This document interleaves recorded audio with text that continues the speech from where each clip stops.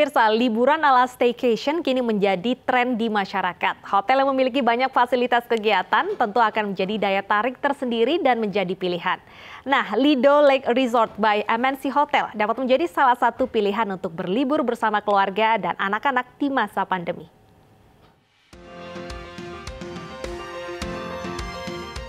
Terletak di tepi Danau Lido, Lido Lake Resort by MNC Hotel memiliki suasana sejuk dengan panorama danau serta Gunung Salak dan Gunung Gede Pangrango yang sangat memukau.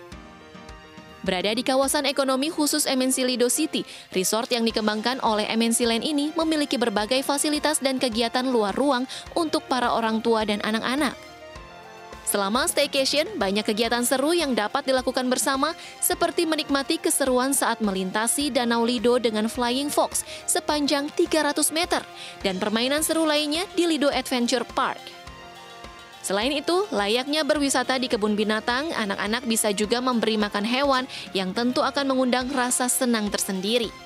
Jadi kita benar-benar uh, mencari sesuatu yang berbeda. Itu open air di sini kan semua anak-anak bisa main permainan-permainannya juga banyak dan uh, bagus lah buat teman apa anak-anak juga adventure ya.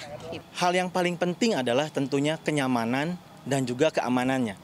Semua fasilitas yang kita siapkan di sini sudah juga dimentori oleh orang-orang yang bersertifikasi sudah punya kemampuan dan keahlian yang khusus untuk menangani anak, dewasa, dan juga untuk outbound.